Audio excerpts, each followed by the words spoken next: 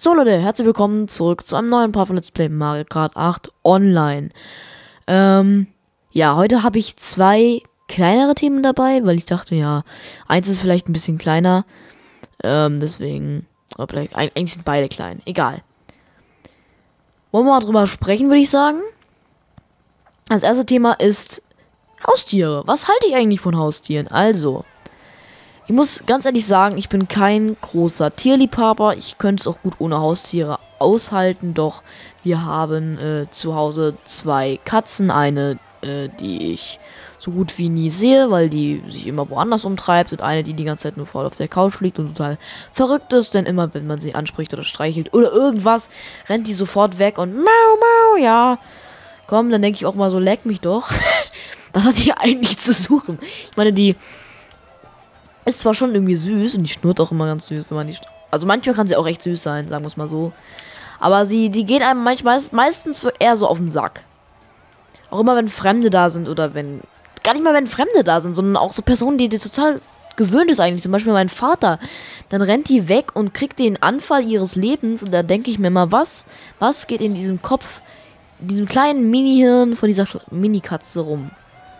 Welch, welch, also ich glaube, ich glaube echt, dass mit der Katze irgendwas falsch ist.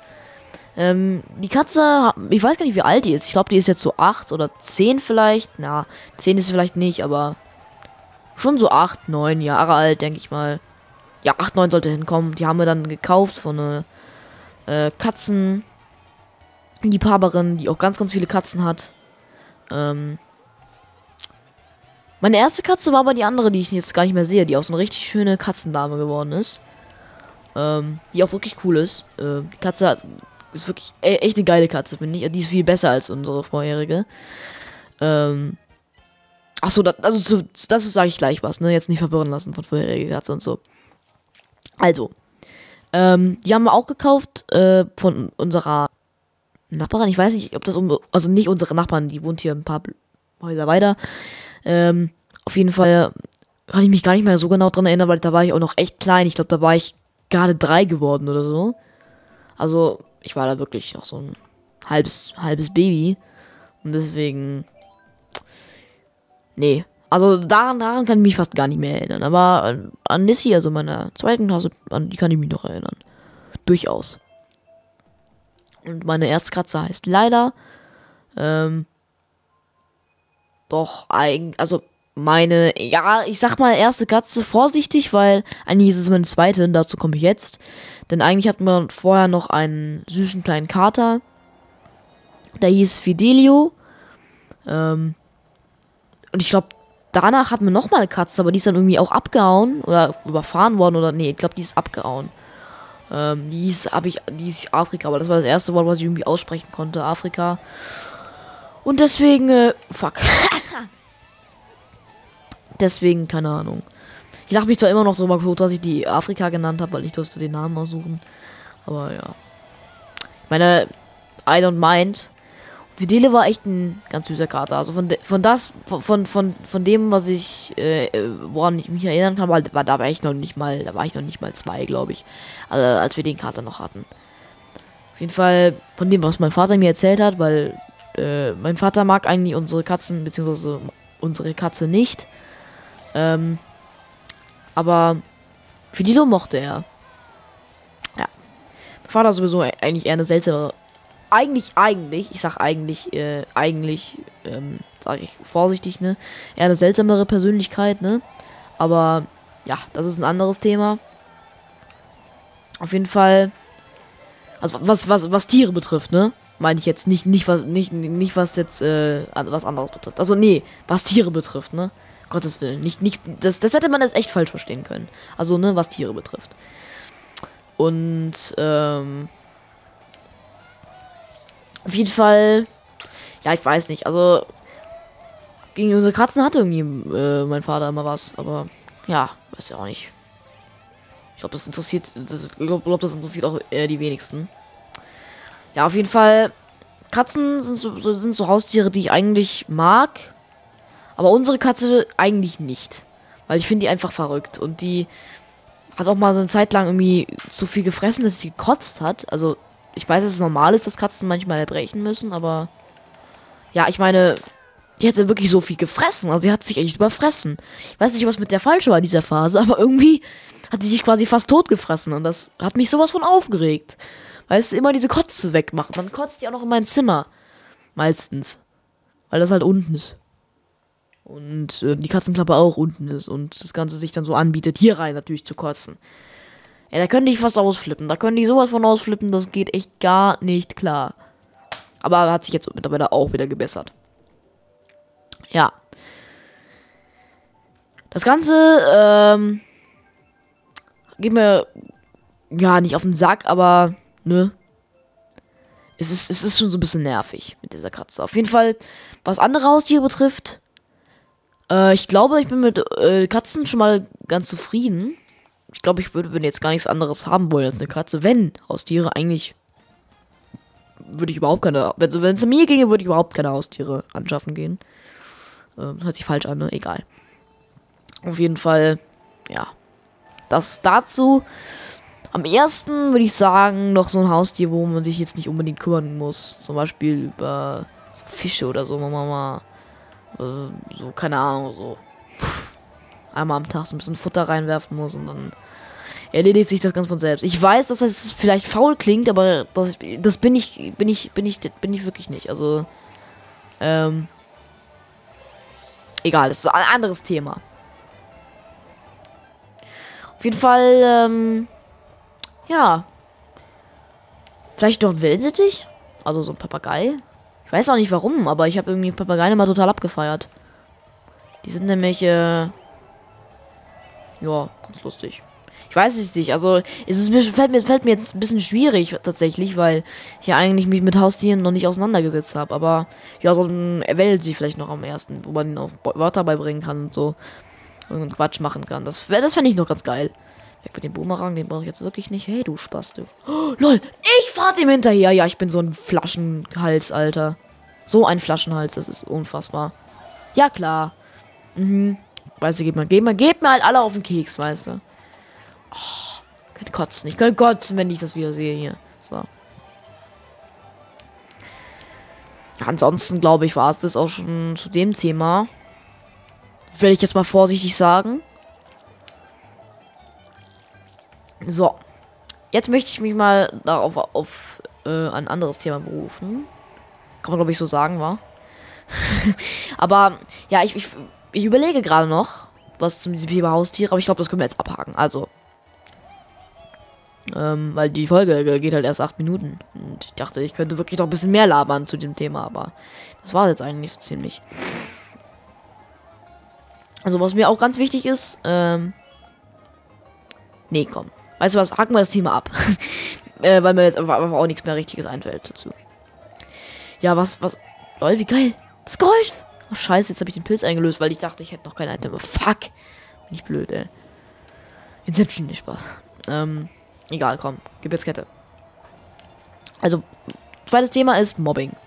Mobbing an Schulen. Und was ich von Mobbing bzw. Videoüberwachung und so an Schulen und generell so Mobbing und ja, äh, ja, im Begriff Videoüberwachung, sag ich mal, halte. Ähm, also.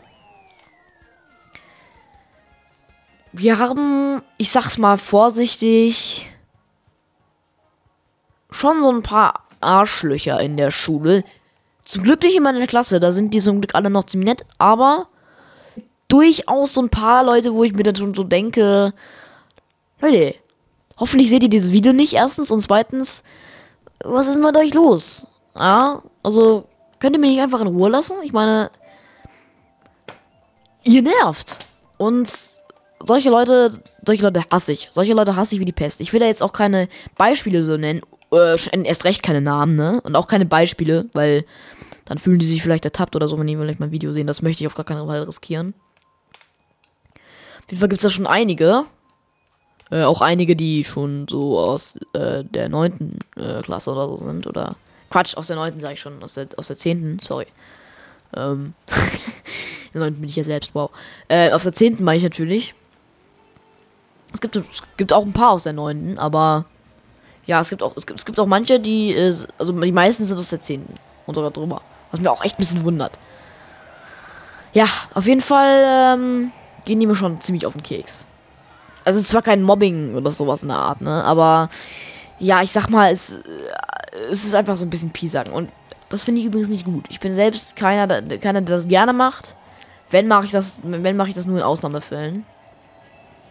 Vielleicht wird sich jetzt einige, ein oder andere denken, der das hier Video sieht und mich, äh, ja, also, keine Ahnung. Ich weiß ja nicht, ob es vielleicht einer mal aus meiner Klasse sehen wird, aber, ne? ich sag mal nichts. Ansonsten werde ich, wenn, wenn, ich, wenn ich hier wieder, wenn ich hier wieder irgendwie, gib mir kein Dislike, noch nicht bitte. oh Gott, Alter, was laber ich hier für einen Scheiß? Ähm, also, muss jetzt echt vorsichtig sein, was ich sage, ne? Deswegen stotter ich auch ein bisschen rum.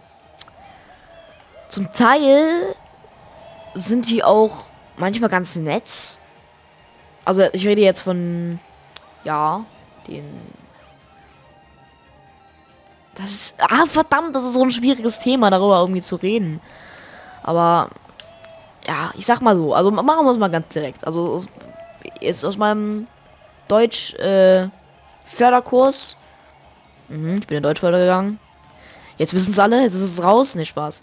Auf jeden Fall, da waren auf jeden Fall so einige Leute dabei, die, könnt, die konnten es einfach nicht lassen, irgendwie mich, mir auf den Geier zu gehen. Nicht, weil sie mir jetzt irgendwie beleidigt haben oder so, einfach weil sie mir auf den Geier gegangen sind. Ich meine, ich wollte ja auch irgendwie, also, das klingt vielleicht ein bisschen so, als wäre ich irgendwie der totale Streber, aber ich wollte auch schon so ein bisschen mich, meine deutsche Note verbessern, weil äh, ich eben äh, nicht so gut abgeschnitten bin dieses Jahr in, äh, let letztes Jahr war das ja, letztes Jahr in Deutsch. Deswegen wollte ich meine deutsche Note natürlich verbessern. Ähm, und auch eben was äh, dafür lernen. Wenn jetzt irgendeiner sagt, Streber oder so, ja, dann könnt ihr mich mal wirklich, dann fickt euch. Da muss ich kurz einfach mal sagen, dann fickt euch einfach ins Knie, ja. Weil für mich ist das kein, kein Streben oder so, sondern das ist eher so was, ja, das ist was Selbstverständliches. Also wenn man aufs Gymnasium geht und vielleicht nicht der absolute Musterschüler ist, ja, dann ist das, ist das was ganz Normales. Und für die Leute, die jetzt auf der Hauptschule sind und mir sagen, äh, Streber hier, ja, dann fickt euch ins Knie, ja. Kann ich nicht mal Ahnung, was Lernen überhaupt ist, wa? Also so, solche Leute kennen, solche Leute hasse ich, die, die mich irgendwie Streber nennen oder so. Weil ich, weil ich, weil ich auch total viel, also eigentlich lerne ich wirklich nicht so viel. Ich zocke auch viel, ne? Also meine, wenn, wenn, wenn, wenn man, wenn man am Tag irgendwie ein Video hochladen will, am Tag oder jede, jede, jeden, jeden ich hab mal jeden Tag, zweiten Tag in letzter Zeit ist es ja leider so ein bisschen die, die Videoflaute so ein bisschen runtergeschwappt. Von 0 auf, äh, von 100 auf 0. ne, eigentlich von 100 auf 50 wenn man es korrekt sagen würde. Auf jeden Fall, nee, Digga, das finde ich, finde ich wirklich scheiße. Das fällt mir auch, das fällt auch so in das, das Thema Mobbing. Also ich finde auch so, so, so, sowas finde ich einfach kacke. Also sowas finde ich, sowas von strohdoof einfach nur. Ich könnte mich jetzt da noch 5 Minuten, 5000 Stunden drüber aufregen, aber das bringt es ja nun auch wieder nicht, ne? Auf jeden Fall, was Videoüberwachung betrifft, damit kann man natürlich so einige Mobbing beziehungsweise so Übergriffe und hast du nicht gesehen, kann man damit schon vom, ja, ich sag mal, vermindern. Aber andererseits, ne, so vom, vom rechtlichen ist es, also unsere Schule, also unsere Schule hat, glaube ich, schon Videoüberwachung. Ähm, deswegen, ich weiß auch gar nicht, wie die das da geregelt haben, aber ich glaube, die dürfen das auch gar nicht so krass ausschmücken, die Videoüberwachung, die Videokameras äh, in der im Schulgebäude, innerhalb des Schulgebäudes, weil ich rechtlich gar nicht so erlaubt ist.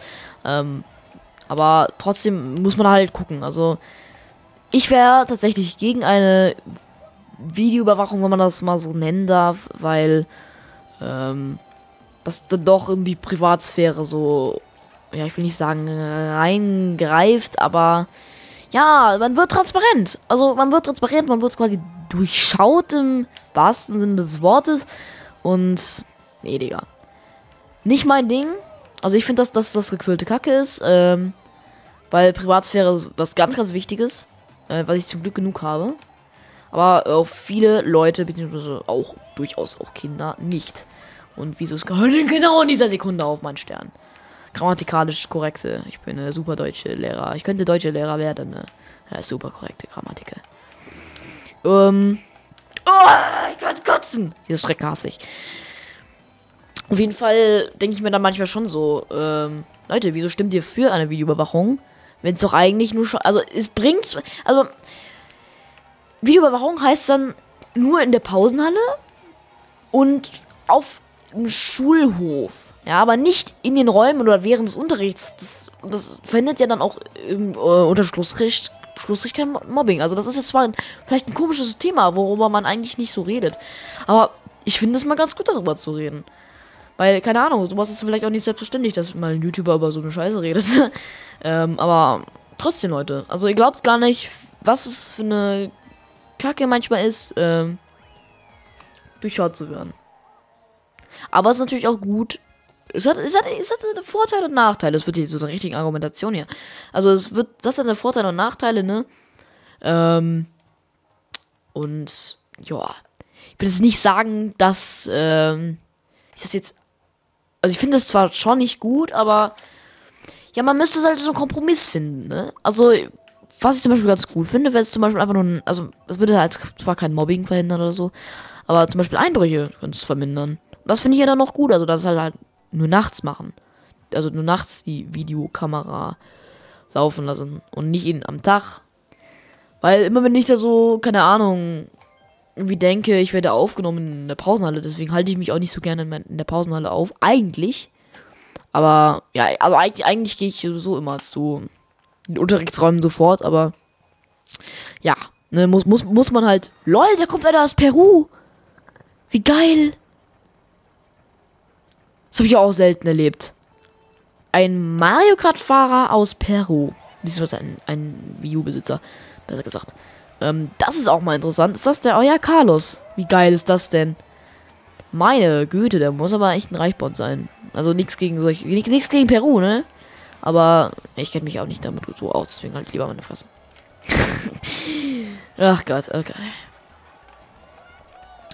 Ja, also ich würde mal sagen, das Thema haben wir jetzt auch abgehakt.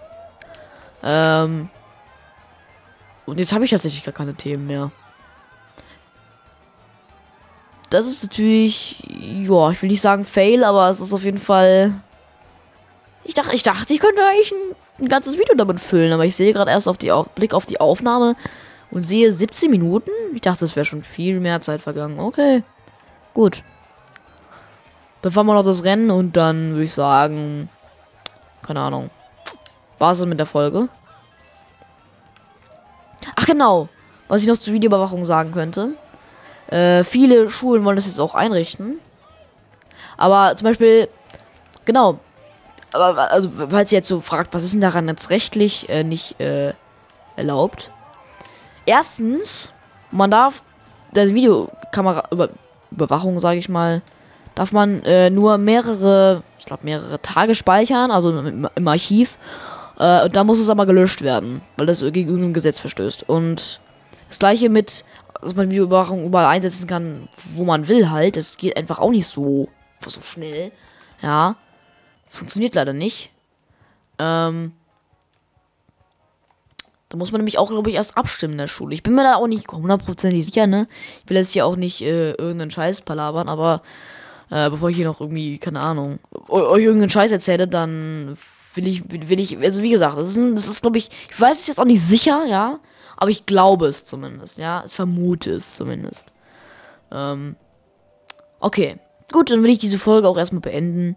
Ich hoffe, also ich konnte die euch irgendwie unterhalten. Ich glaube, der erste Teil der Folge war spannender. Also für die, die jetzt dran geblieben sind. Props an euch.